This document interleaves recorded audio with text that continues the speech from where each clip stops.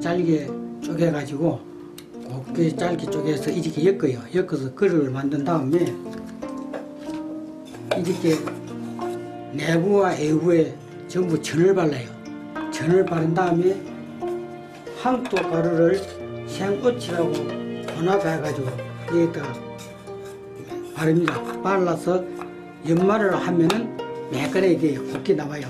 거기다가 저렇게 이제 받는 겁니다.